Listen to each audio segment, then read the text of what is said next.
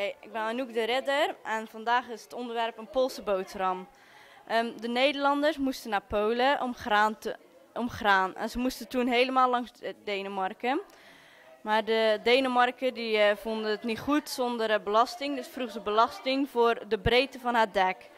Dus de Nederlands bedachten zo ehm, een fluitschip, dat is de breedte, eh, dan is de breedte van het dek niet meer zo groot, is te smal. En is de, de buik een stuk groter. En hier zo zie je zo'n fluitschip. Hier zie je een fluitschip. En je kan zien dat het dek niet zo breed is als, ehm, als de buik. En zo eh, bespaarden ze hem. Dit was het voor vandaag. Vandaag weer een verhaaltje bij terugkijken. We gaan het vandaag hebben over de geschiedenisvester Jan. Die in de Gouden Eeuwen en, eh, en de vijvertjes als vester, net als zijn vader en gro- overgrootvader, vester is geweest als beroep. En zijn beroep eh, dreigt kwijt te raken, zoals de rijke lui mensen daar zo, die een, eh, als werelds eerste het water willen weghalen en één groot eh, poldergebied willen beginnen.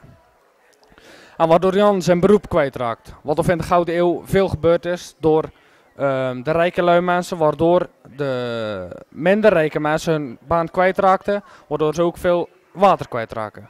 Dat was het mensen. Hallo, ik ben Maaike en ik ga jullie iets vertellen over de slavin Amimba.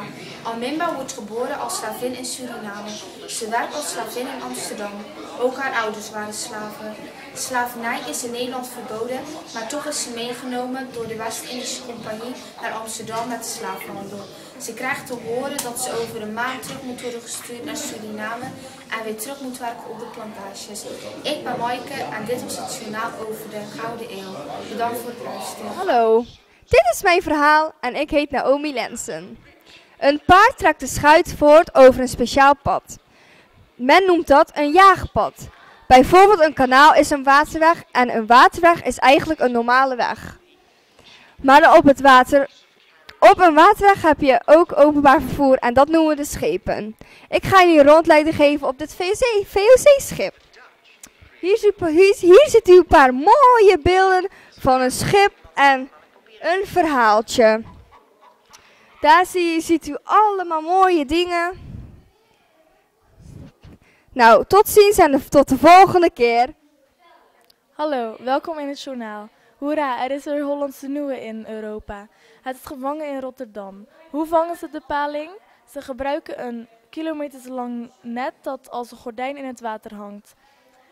Zo zwemt de paling erin en dan sluiten ze het net. Er wordt al heel veel over gepraat in Nederland. Dat is zeer goed voor de economie. Het is verse paling en het is zeer gezond. Een tip om het lekker te maken is om ui erop te gooien. Of augurken erbij is ook lekker. Het wordt op de markt verkocht en het is een groot succes. Dat was het nieuws. Prettige dag nog verder. En welkom bij het nieuws. Michiel de Ruiter heeft, wint weer een zeeslag. Hij heeft van de Fransen, de Engelsen en Duitsers gewonnen. Hij heeft zelfs van de Fransen een onderscheiding gekregen nadat hij ze verslagen heeft. Hij was een Nederlandse zeeheld. Dit was het nieuws.